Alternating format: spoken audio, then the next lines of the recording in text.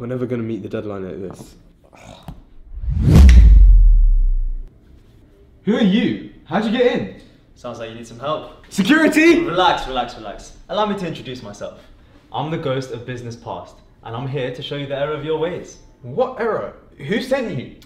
Maria sent me. Who's Maria? Who are you looking Right, at? enough talking. Let's go. What's going on? I'm confused. Take a look inside. That's me. How is that me? That's you from three months ago. You're interviewing candidates. Just head inside and pay attention. Okay. No, but I'm just saying that is the problem, right? Like, 'cause this is They can't see you, they can't hear you. What's the whole point of this then?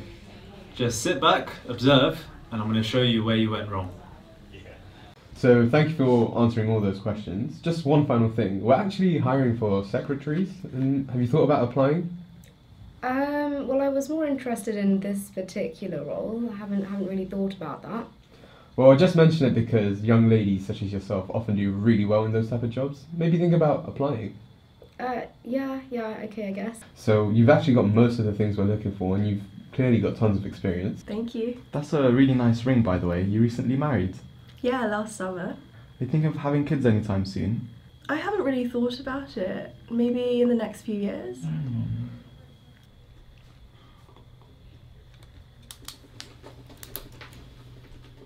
Seems like you don't have a lot of experience in this field. But I've got a good feeling about you. You know what? You're hired. Okay, I think you've seen enough. Time to go. Wait.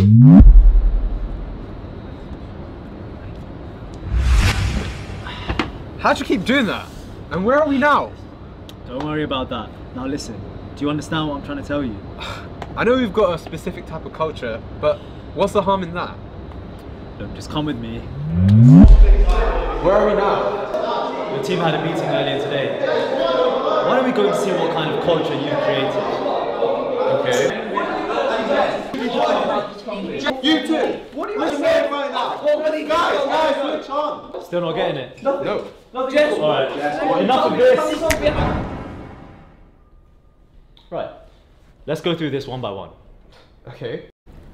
Do you think Emily will get the promotion? She's great, but she comes on a bit strong. Yeah, but she's basically doing the job already, so it's just a title, isn't it? Yeah. What about Jessica? Everyone loves her. Yeah, but she's not really leadership material, is she? She's too nice. I guess you're right. What about James? I think he'll get it. He's got potential. Classic case of double binds. The female staff members are seen as either being too harsh or too nice, and they end up having to work harder than their male counterparts for the same reward and recognition. Alright, let's get settled down. How about a cup of tea? Oh, yeah. Yeah, Chloe, I think you make good tea, right? Not your maid, you can get your own cup of tea. What's her deal? Yeah, she's so full of herself. It's probably a time of the month. This is a case of internalized sexism. This is when women use sexist behaviors that have been inflicted upon themselves and do it to other women and sometimes even themselves. Terrible, isn't it? Yeah. Okay, I'm starting to get it. I've had way too many guys, and all the girls are just feeling underappreciated and ignored.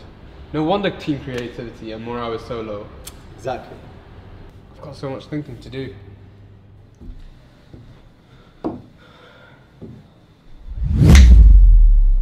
Oh, you again. How's it going? Great, actually. Profits have been up, morale has been up, everything's going great. So tell me what you did differently. Well, let's talk through it. Well, something's had to change around here.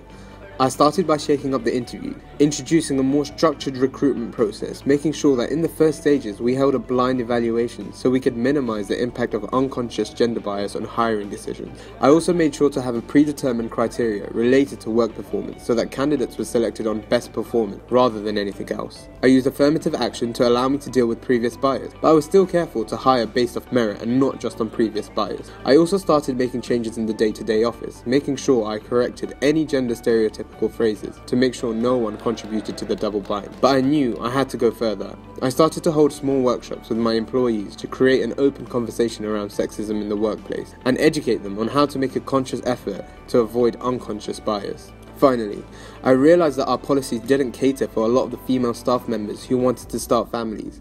So we created more inclusive policies, like a more flexible work life, to retain our talented employees who are facing the maternal wall. Huh? Looks like my work here is done. Thank you very much. Oh, I think I've got this one.